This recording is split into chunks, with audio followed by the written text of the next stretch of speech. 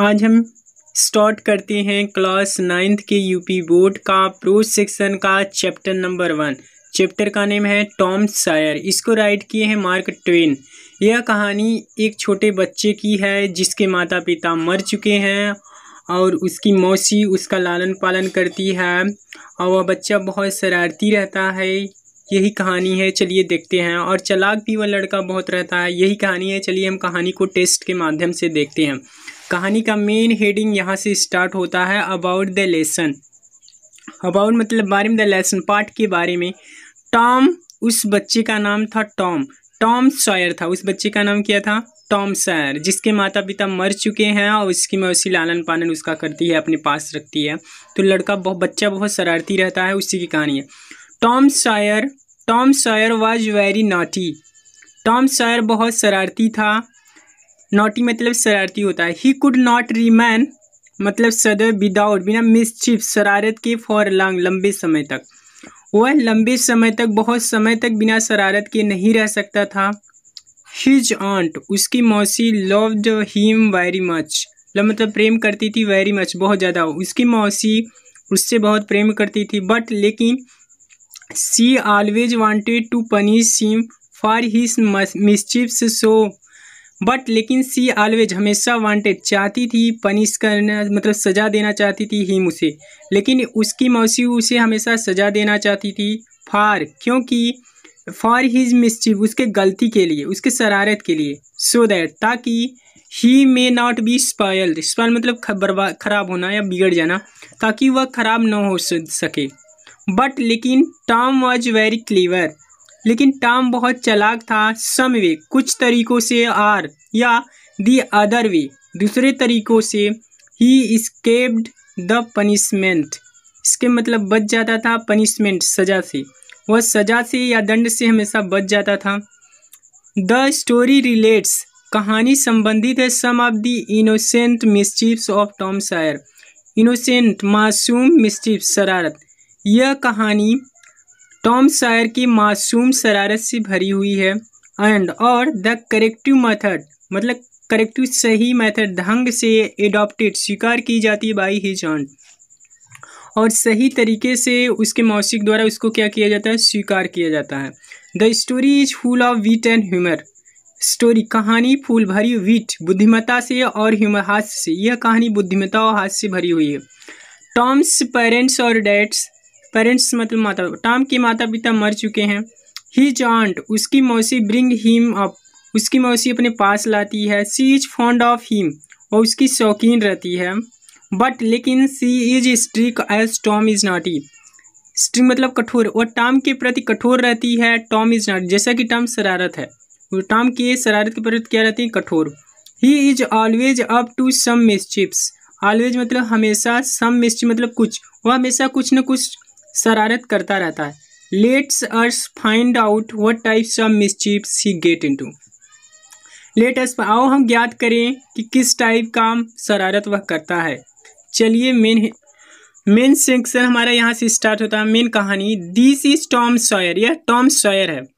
मतलब उसकी मौसी यहाँ बुला रही हैं कि टॉम कहाँ हो सकता है तो वही यहाँ से। Tom no answer Tom no answer Tom no answer मतलब कोई उत्तर नहीं। टॉम नो आंसर मतलब उसकी मौसी टाम टॉम बुलाती है, लेकिन कहीं से कोई आवाज़ नहीं आती है, उत्तर नहीं आता। वेयर कैन बी ही वह कहाँ हो सकता है? Aunt Polly asked herself aunt Polly सोम से पूछती हैं। आंट पाली सोम से पूछती हैं कि वह कहाँ हो सकता है। He must be somewhere here उसे यही कहीं होना चाहिए। She went to the door door मतलब दरवाज़ा होता। वह दरवाजे के पास गई लुकड देखी आउट इनटू द गार्डन बगीचे में। वह बगीचे में बाहर देखी एंड और देन तब साउटेड अगेन पुनः चिल्लाई। Tom Tom. टॉम टॉम पुनः। नो आंसर कोई उत्तर नहीं। द ओल्ड लेडी वृद्ध महिला स्टूड खड़ी रही देर, वहाँ थाटफुली वृद्ध महिला विचारपूर्वक वहाँ खड़ी रही। सडनली अचानक she heard a sound behind her heard मतलब सुनी साउंड आवाज़ बिहाइंड हर अपने पीछे। अचानक वो अपने पीछे आवाज़ सुनती हैं। सी टर्न अराउंड क्विकली मतलब जल्दी से। क्विकली मतलब जल्दी से सी टर्न मतलब मुड़ती है। वह जल्दी से मुड़ती हैं। There was Tom near the cupboard door Tom near मतलब पास तक कपबोर्ड मतलब अलमारी होता है, डोर मतलब दरवाज़ा। टॉम अलमारी के दरवाजे के पास था। There was jam all round his mouth. Jam मतलब मुरब्बा ऑल राउंड, उसके चारों तरफ़ हिज माउथ, उसके मुख के चारों तरफ़ मुरब्बा था। What have you been doing तुम यहाँ क्या कर रहे थे? Aunt Polly asked angrily. Angrily मतलब क्रोधित होते। आंट पाली क्रोधित होते हुए पूछी कि तुम क्या कर रहे थे?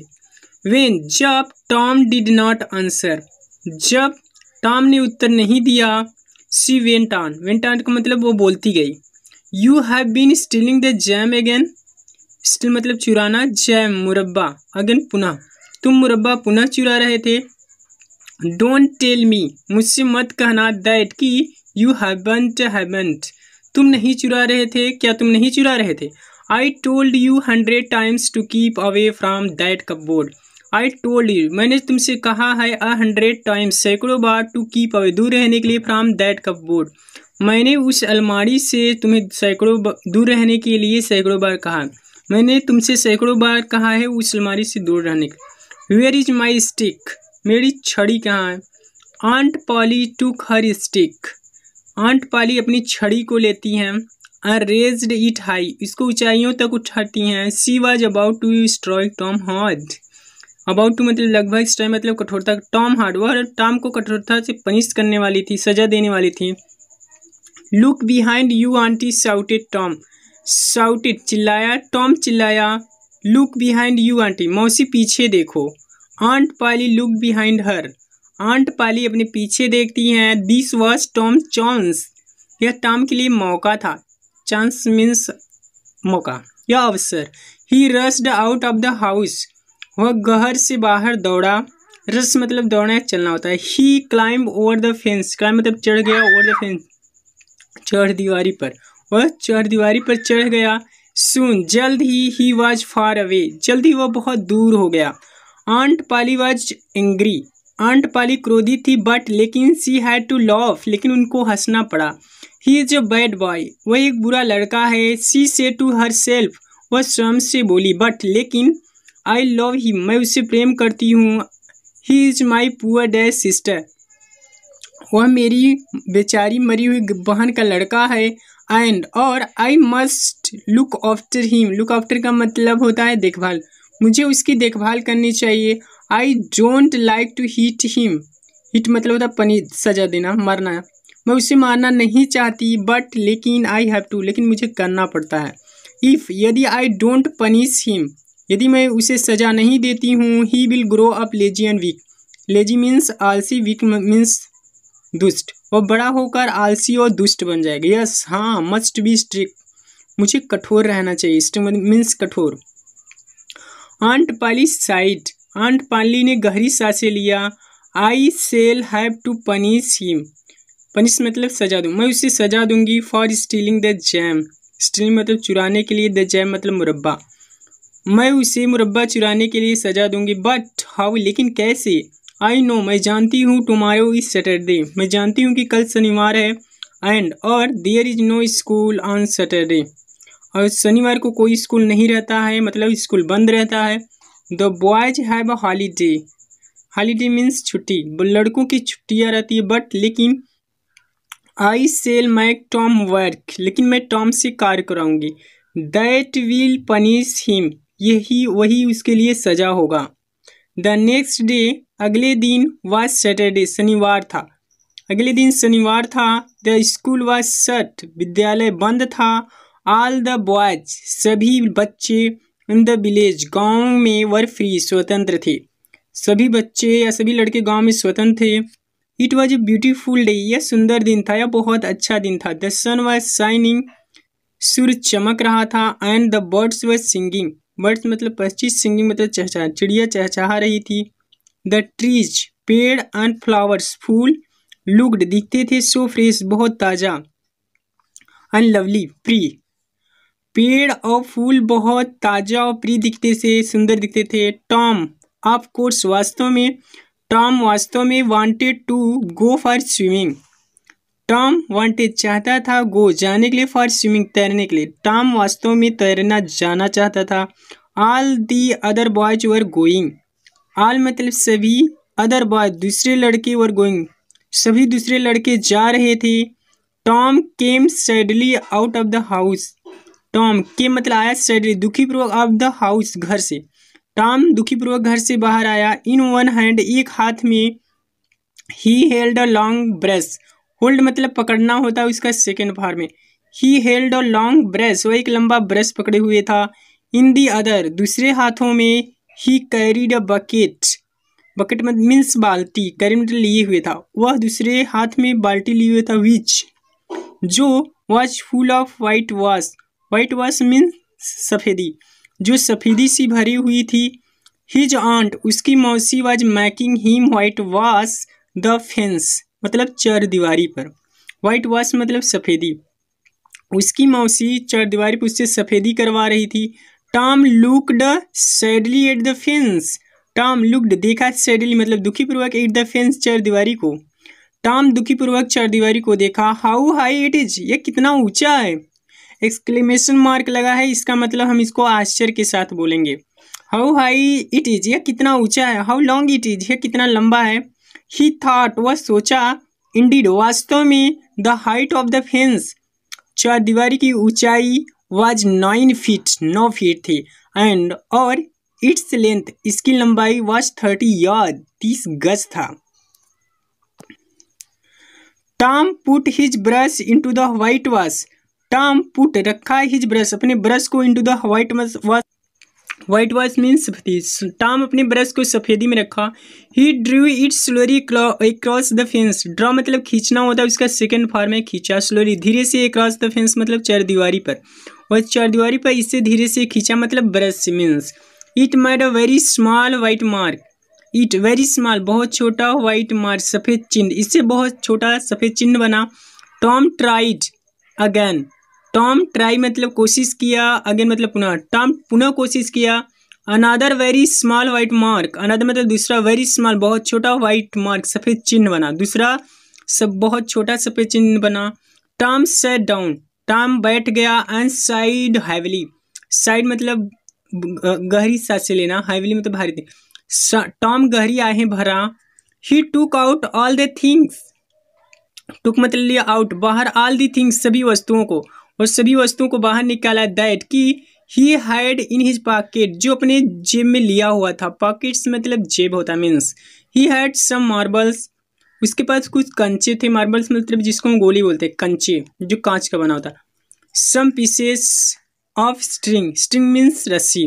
वह कुछ रस्सी को, टुकड़ों को बाहर निकाला एंड टू और थ्री ब्रोकन टॉयज दो या तीन ब्रोकन मतलब टूटे हुए टॉयज मतलब खिलौने। दो या तीन टूटे हुए खिलौनों को बाहर निकाला। No one will whitewash the fence for these he thought वह सोचा नो वन मतलब कोई भी बिल वाइट वॉश मतलब सफ़ेदी द फेंस मतलब चार दीवार फॉर दीज इसके लिए कोई भी चार दीवारी पर सफ़ेदी नहीं करेगा। वह सोचा कि इनके लिए कोई भी बच्चा चार दीवारी पर सफ़ेदी नहीं करेगा। नो no, नहीं I must think of a better plan think मतलब सोचना चाहिए बेटर प्लान और अच्छी योजना। नहीं, मुझे और अच्छी योजना सोचना चाहिए। ही थॉट एंड थाट वह सोचा और सोचा। सुन जल्द ही ही हैड एन आइडिया उसके मन में एक विचार आया। He picked up his brush again pick मतलब उठाया। हिज ब्रश को अगेन मतलब पुनः वह पुनः अपने ब्रश को उठाया। बिगेन वर्किंग हॉज बिगेन मतलब शुरू कर दिया। वर्किंग मतलब वर्किंग हार्ड मतलब कठिन परिश्रम करना शुरू कर दिया। Ben Rogers was coming down the street Ben Roger coming मतलब आ रहा था down the street Ben Roger नीचे सड़क पर आ रहा था। Tom pretended not to see him Tom pretended बहाना बनाया नॉट टू सी हिम उसे न देखने का। टॉम उसे न देखने का बहाना बनाया। He worked harder than ever वह और भी कठिन परिश्रम करने लगा। Ben was eating an apple Ben eating मतलब मीन्स खा रहा था एन एप्पल मतलब सेब बेन एक सेब को खा रहा था he looked very happy we look दिखता था वेरी हैप्पी मतलब बहुत खुश, वह बहुत खुश दिखता था. ही वॉज़ प्रेटेंडिंग वह बहाना बना रहा था. प्रेटेंड मतलब बहाना बनाना होता है.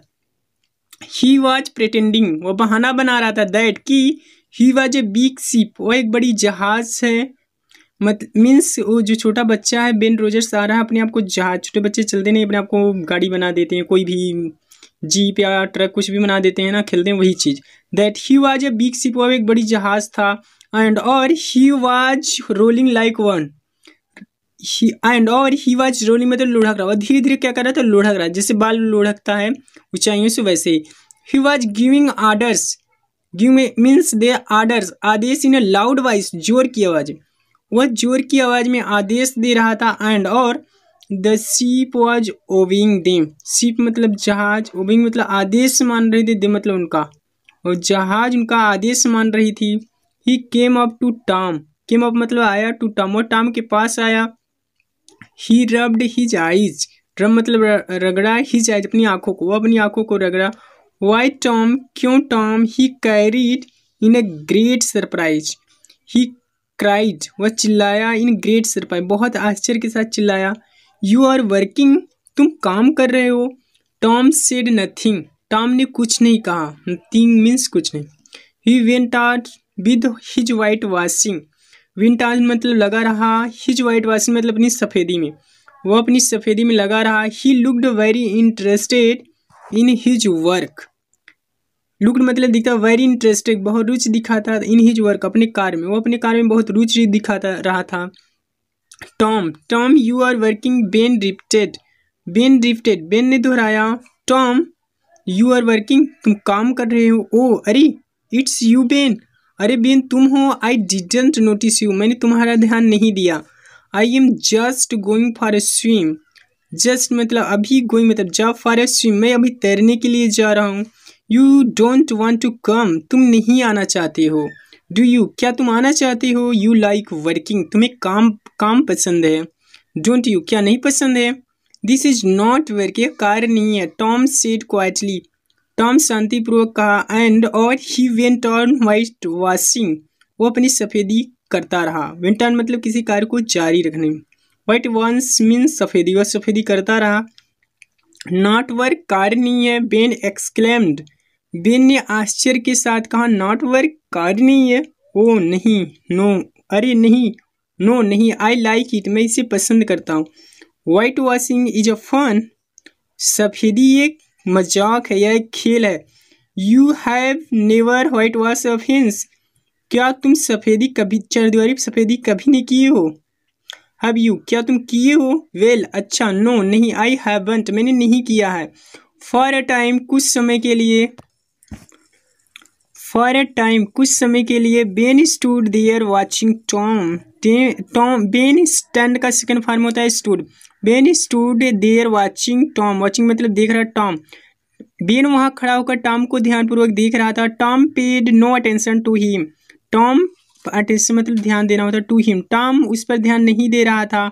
ऑल हिज अटेंशन उसका पूरा ध्यान वाज गिवेन दिया था टू हिज वर्क अपने कार्य में. वो अपना पूरा ध्यान अपने कार्य में दिया हुआ था.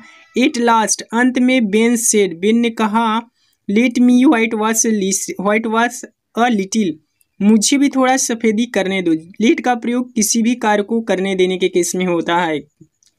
उसे हंसने दो, उसे नाचने दो, ऐसे। Let me whitewash a little मुझे भी थोड़ा सफ़ेदी करने दो। ओ, अरे नो बेन, नहीं Ben I am going to make this fence look fine fine मतलब अच्छा दिखने में अच्छा फाइन मतलब अच्छा। लुक मतलब दिखना फाइन मतलब अच्छा। मैं इसे दिखने में अच्छा बनाने जा रहा हूँ।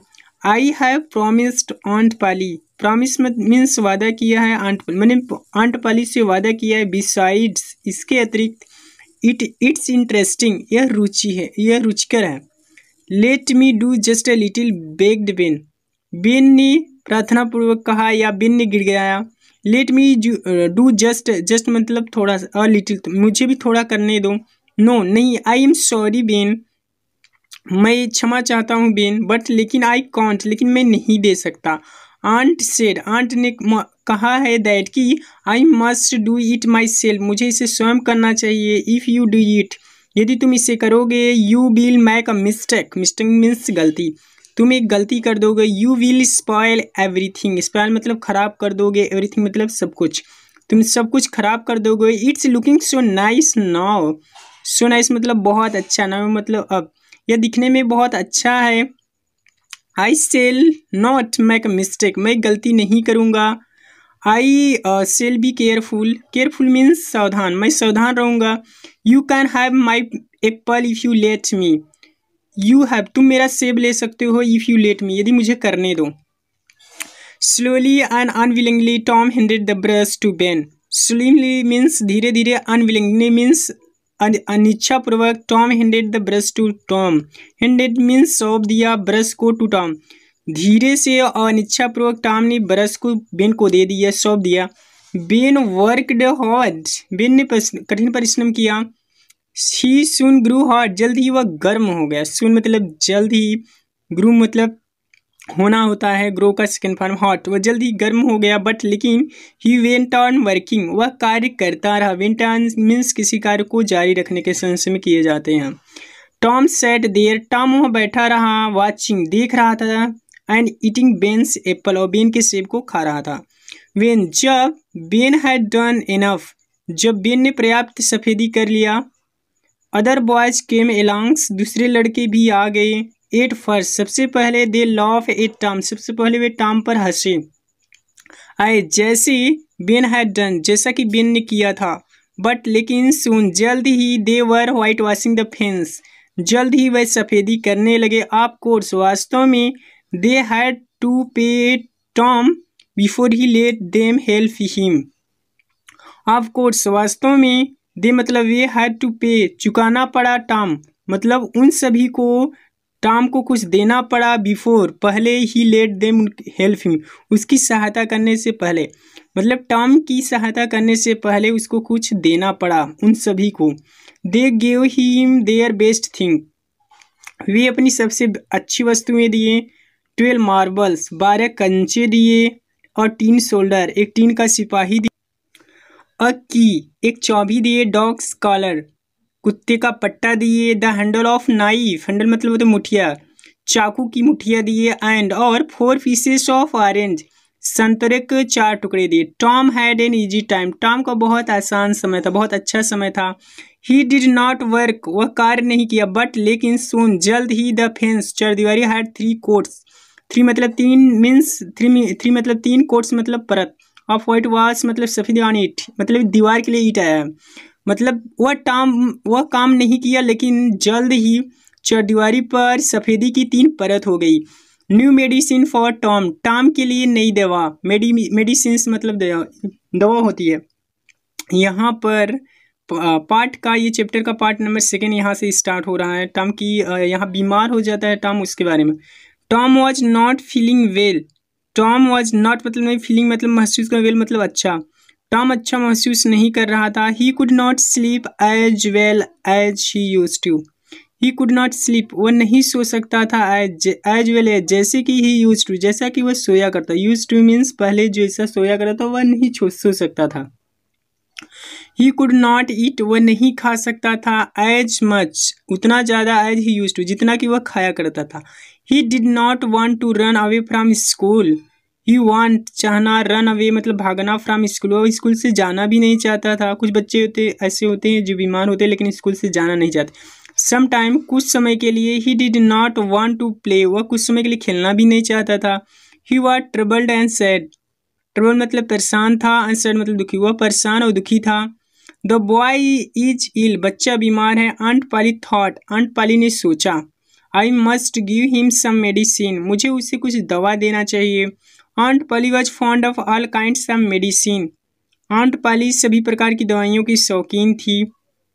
She had lot of books उनके पास बहुत सी किताबें थी ऑन दिस सब्जेक्ट इस विषय पर मतलब दवा पर उनके पास बहुत सी किताबें थी। ऑल आर्ट मतलब बहुत सा बुक्स मतलब किताबें ऑन दिस इस विषय पर। इस विषय पे उनके पास बहुत सी किताबें थी। Her her newest idea was this her मतलब उनका निवेश मतलब सबसे नया आइडिया विचार व उनका सबसे नया विचार यह था, वेन जब a boys boys was ill जब एक